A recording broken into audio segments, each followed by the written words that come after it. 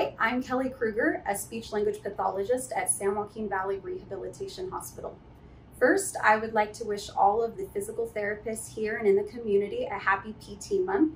October is a month to acknowledge and celebrate all of the wonderful physical therapists who help so many.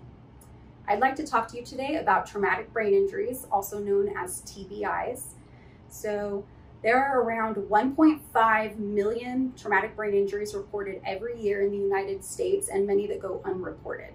A traumatic brain injury can occur internally from an object going into the skull and entering the brain, or from a lack of oxygen to the brain, or externally from a hit or jolt to the head.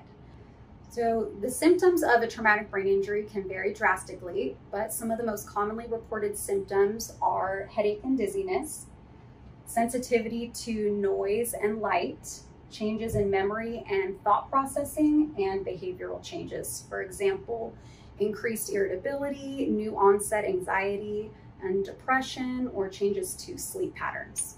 So it's important to know that you do not have to lose consciousness in order to have a traumatic brain injury.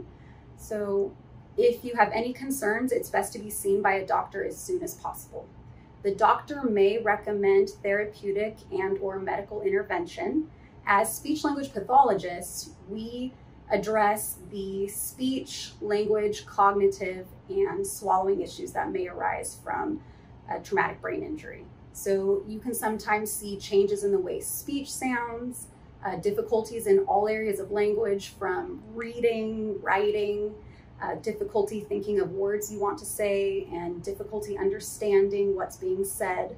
Uh, there can also be changes in memory and thinking, and even difficulty chewing and swallowing food. The types of areas addressed depend on the area of the brain that was affected.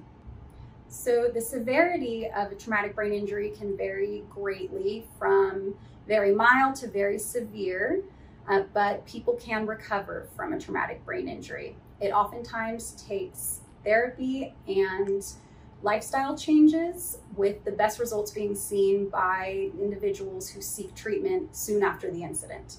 So if you think that you've experienced a traumatic brain injury, again, it's best to be checked by a doctor as soon as possible. Thank you for tuning in today and have a great day.